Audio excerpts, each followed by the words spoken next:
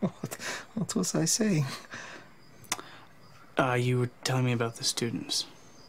Yes. Uh, I do not know what they were actually studying, but uh, the yelling was constant, and one day the noise went into the woods and they never returned.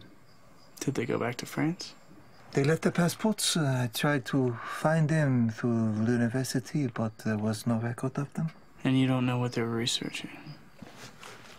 I found some papers in the trash, uh, some esoteric writings on uh, manipulating light and sound waves. Uh, I think they were searching for monsters and they found each other. Monsters. The people come here, Michael, to look for aliens, ghosts and cults and gateways to hell, secret military bases, looking into other dimensions. I think if there is something, it is none of these things. Uh, or perhaps all of them.